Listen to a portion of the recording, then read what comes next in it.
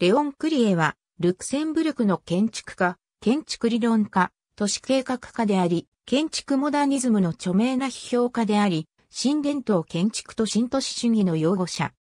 国際的な建築と計画の実践を執筆と教育と組み合わせている。彼はイギリスの同セットにあるパウンドベリーのマスタープランで著名。兄は建築家ロブ・クリエ。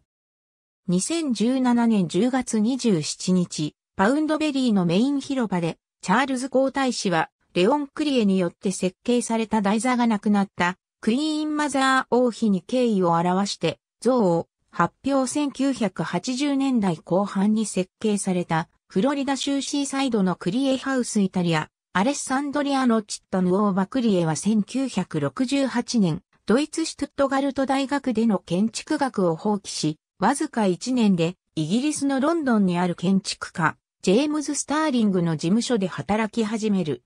スターリング社で4年間働いた後、ベルリンのジョセフ・ポール・クライウエス社で2年間修行後、イギリスで20年間建築協会と王立芸術大学で実践と教育に従事。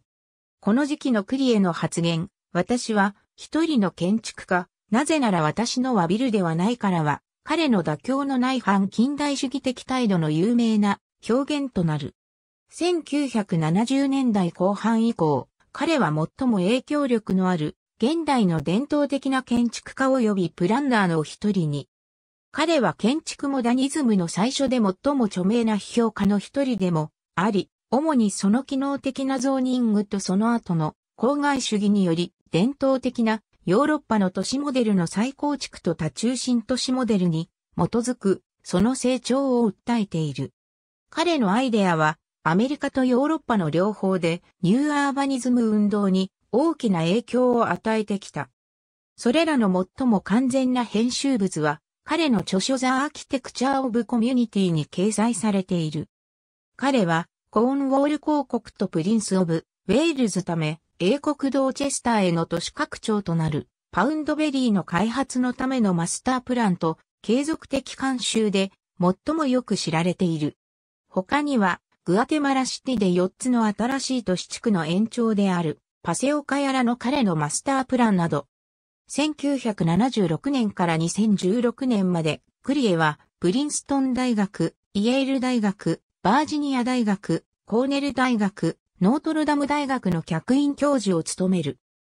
1987から90年からは、シカゴの SOMAI、スキッドモア、オーイングスメリル建築研究所の初代所長を務め、1990年以来、クリエはバリーバリ、アッサーブロイ及びイタリアの家具会社、ジョージャティ工業デザイナーを務めてきた。2003年、クリエは Driehaus Architecture Prize の最初の受賞者となる。クリエは都市計画プロジェクトで建築コンサルタントを務めている。他は個人的に選択した建物のみを設計している。彼の最もよく知られている実現の中には1980年のベネツィア・ビエンナーレのファサード、米国フロリダ州シーサイドのリゾートビレッジにあるクリエハウスのほか、ポルトガル、サントラのサンミゲル・オードリーニャス考古学博物館、フロリダのウィンザービレッジホール、ホルヘ・M・ペレス建築センター、マイアミ大学建築学校イタリアのアレッサンドリアに、ある新しいネイバーフッドセンターチッタヌオーバなど、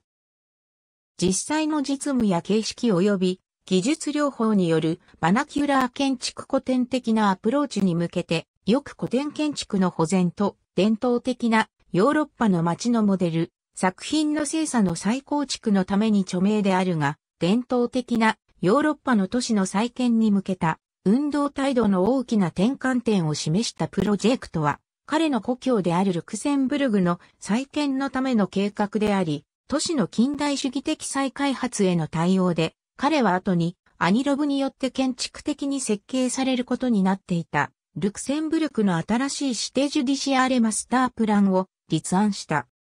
1990年に招待された9人の専門家のうち、彼はドレスデンのイニシアチブをサポートして歴史的な建造物、ドレスデンフラウェン教会とヒストリシセノイマルクト地区を支援した唯一の人物であり、2007年には強力な専門的及び政治的反対に反対する歴史的なフーナーマークとエリアであったフランクフルト・アルトシュタット・フォーラムに市民イニシアチブの再建に成功した。クリエは理論を西洋世界の多くの都市の大規模で詳細な計画に適用した。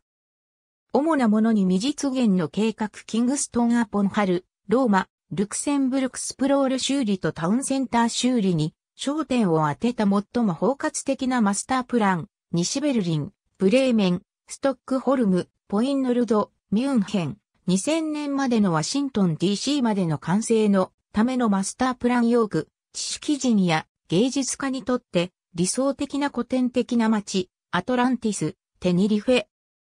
また、エリアフィアット、イタリアのノボリア、コルビアンカルーマニアなどの開発者や、劣化したローマ郊外の東亜ベラモナカなどがあり、行政機関から委託された新しい街のプロジェクトでもイタリア、リミニ、葛藤理科の地方自治体地域の長期、再開発政策計画及び英国ヨークシャー、フィッツウィリアムエステートのハイマルトンマスタープランの計画と廃止されたホーリーウォーターサイドの再開発発電所許可段階にあるイギリスのサウサンプトンなど。その後、ほぼ完成したが彼の指示なしで事業は進められた。ナッキー、ヒューラブラム、ベルジャム計画のような構築された開発と入キー、成長地域のマスタープランは辞職後、アダム・アソシエーツによって継続された。そして彼が現在まで関わりを継続している事業に、パウンドベリードーセット、グアテマラシティのパセオカやらエルソコロ、グアテマラシティの二つの新しい都市地区とメキシコのサンミゲルデアジェンデ近くの新しい町、ヘレンシアデアジェンデなどがある。チャダドキラ、グアテマラシティ、グアテマラ、レンクリーアサククリエは、ハインリヒテッセノーの見解に同意し、一方では、都市の経済的及び文化的富と他方ではその人口の制限との間に厳密な関係があると述べた。しかし、これは単なる仮説の問題ではなく、歴史的な事実であると彼は主張。都市とその地区の測定値と幾何学的構成は、単なる偶然または偶然の結果ではなく、単に経済的必要性の結果ではなく、美的で技術的なだけでもなく、立法的で倫理的な文明秩序を表しているとする。クリエはパリ全体が産業化以前の都市であり、今でも機能しています。適応性が非常に高いため、20世紀の創造物には決してならないでしょう。ミルトン・ケインズのような都市は、数学的に決定された社会経済プロジェクトとして計画されているため、経済危機やその他の種類の危機を乗り切ることはできません。そのモデルが崩壊すると、都市はそれと共に崩壊するでしょう。と述べる。したがって、クリエは現代のモダニズムの都市に反対するだけでなく、都市の成長における巨大化傾向に反対している。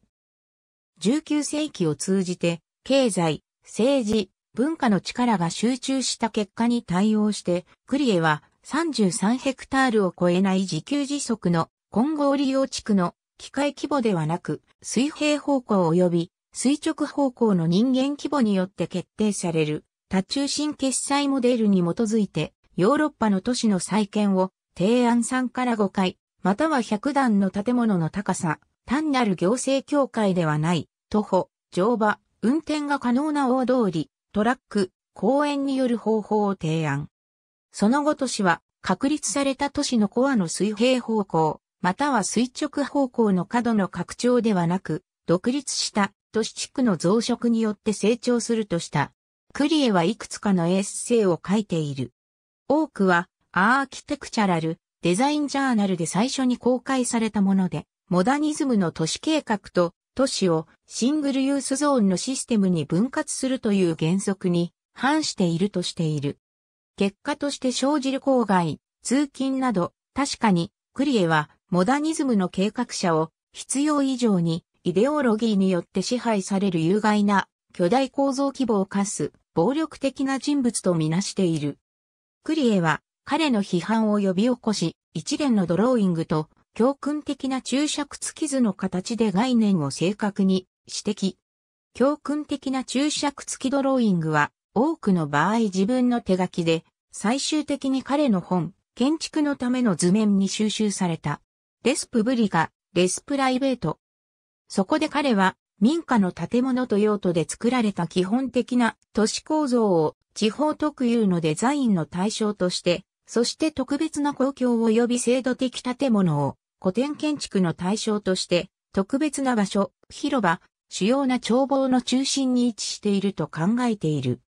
ビレッジホール、フロリダ州ウィンザー、1997年、レオン・クリエ作クリエの著作の背後にある原則は、建築と都市の合理的な基礎を説明することであり、シンボルの言語では誤解はあり得ないと述べている。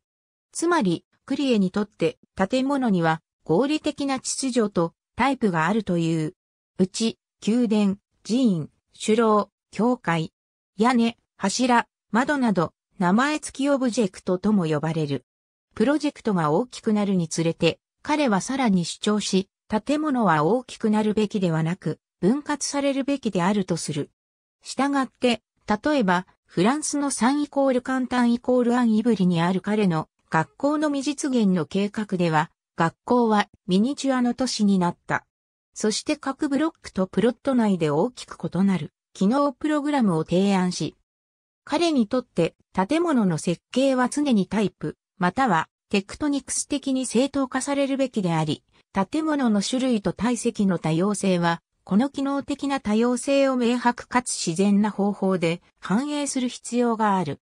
要するに、すべての不必要な均一性、または不必要な種類は、寸法、機能、従って形式的な種類の隣接する建物を設計すること、及び公共の道路、広場、通り、大通り、公園で構成される公共空間のネットワークを生成するような方法で回避する必要があるとした。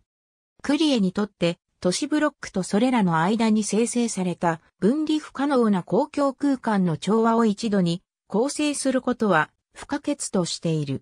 類型的な建築を探す上で、クリエの作品はスタイルのない建築と呼ばれてきた。